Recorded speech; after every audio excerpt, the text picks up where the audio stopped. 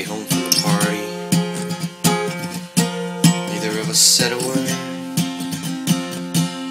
The end rhymes on the car stereo. Sang that song you know I hate. The one about the blackbirds and the rain came down on the windshield. Wished it would wash us both away.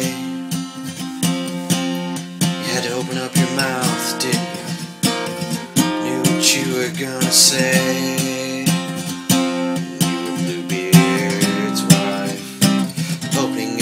Cupboard trying to find a smoking gun.